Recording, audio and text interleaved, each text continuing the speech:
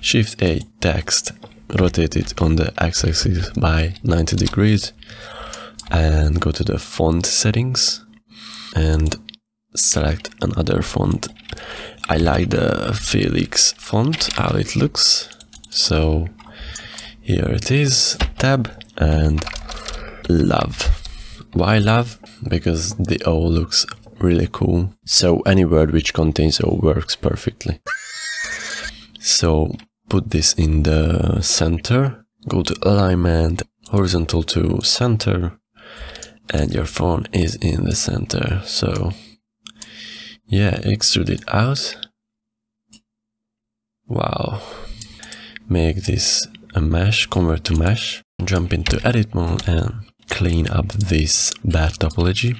M by distance and the unnecessary vertices are cleaned up but the shading is messed up so normals and auto smooth. Create a shortcut for this. Mine is Ctrl Alt and S and I can set auto smooth from everywhere. It's really fast. So go to the web properties and click color environment texture open storm cloud. Okay, go to the render view. Yeah, so make the uh, uh, uh, uh, the look very high contrast. It looks really really bad. So let's create the material for the love. Material tab, add new and metallic all the way up, roughness all the way down. No, just a little bit of roughness, just a tiny bit. So split this view and create a shader editor workspace here. There's no bevel on the text. Let's add a bevel. Search for bevel. Oh, yeah. This happens sometimes. Bevel and do this. Yeah, yeah, yeah. Radius is 0.0096 or 9. 0.009. Yeah, looks much better. Yeah, nice. So let's add a camera. Shift A and make the rotation as default. Alt R. RX90 GY. Hit O. Make this square ratio enter and move this backwards a bit.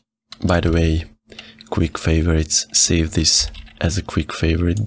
It saves you a ton of time. It looks pretty washed out so and low res so add the image as plane. Okay so move this along the y-axis back there and jump into camera view and scale this up. Let's let's let's just create something amazing. Viewport display and passepartout all the way up. Scale this up. It's not in the center. If you don't want to eyeball it, select the camera and viewport display composition guides, enable the ratio G and it's in the middle of the image. Bring this camera back just a bit uh, it, it, it looks bad. Okay, so let's rotate the word object, switch to word and control T. You can do this if node wrangler is enabled in the preferences. Yeah, and this is minus 96 or something. Yeah, now it looks better. Make this more playful. Tab and select the O and L. So it's select the O only. Hit P and selection. It separates from from the boys. So let's select the O and it's separated as you can see. Put the origin in the center of the O. Right click and set origin origin to geometry. So double R and like so. And it makes a huge, huge difference. I don't like this here. This is the reflection of the V.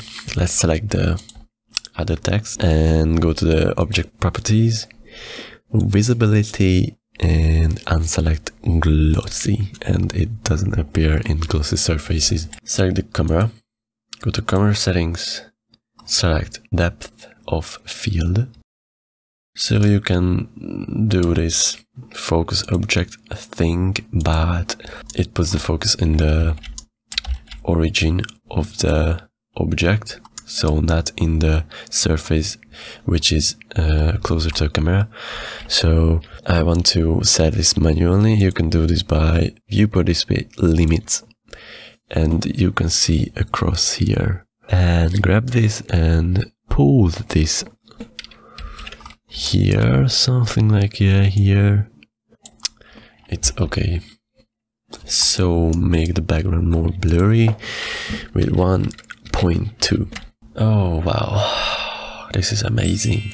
I wanna separate the background from the text. And you can do this in the compositing editor, but first you have to enable Cryptomatte object in the view layer properties. Render this out first. Okay, go to the compositing editor, delete this bunch of stuff, I don't need this. Mm, search for glare and put this here. Set the quality from medium to low, the threshold to 0.6, so you can see you're starting to see something interesting. Crank this up a bit, like 2.93 color modulation just a bit and the mix is 0.2 everything is okay. Let's add another effect called lens distortion. Put this here. Select fit dispersion to 0.008 this is the perfect value. Image save as okay let's create the mask. Search for crypto I mean cryptomatte image to the image and the cryptos to the cryptos control shift click on the pick select the background the green color control shift click on the matte.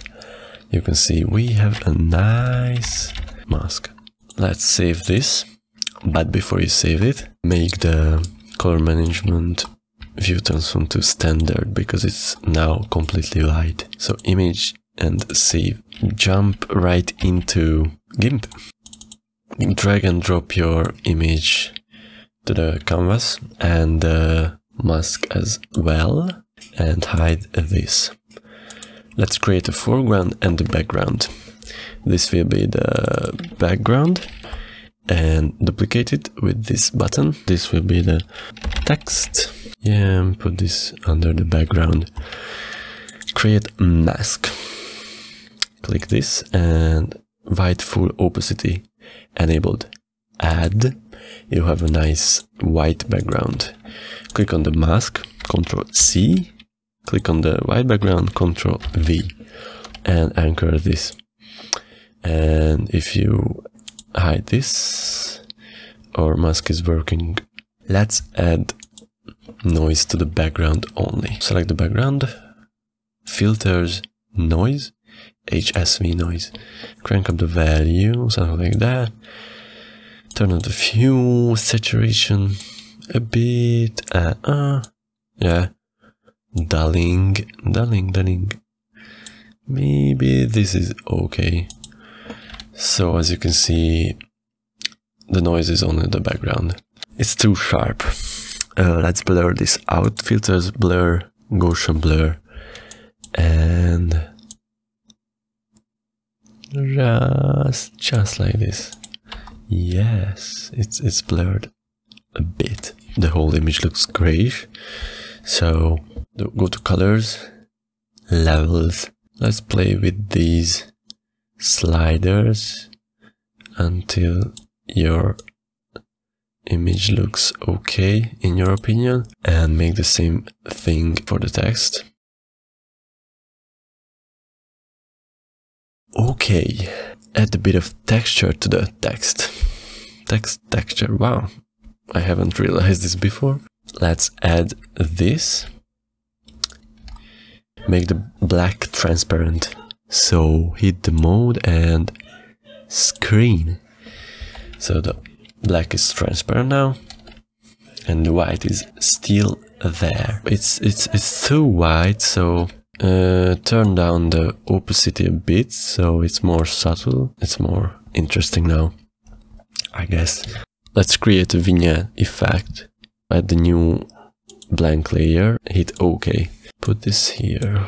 Uh, make sure this is white and layer is selected. Click on the bucket tool and fill this area. If you switch to multiply here, it's gone and this is good. So go to filters and light and shadow. Yeah, vignette. You can play these three settings. Yeah, and okay. It's too dark on the corners, so turn the opacity down just a bit. And it has a depth, it creates a depth effect or something. And you can export your album cover file. Yeah, we are done. Hell yeah. I have a Patreon where I upload some 3D assets like photoscan objects, but also some models like realistic buildings. If you want to check it out, link is in the description, but it's behind the paywall. You can find some backdrop images like green trees or backdrop mountains, my custom add-on, behind the scenes, and also some sound design.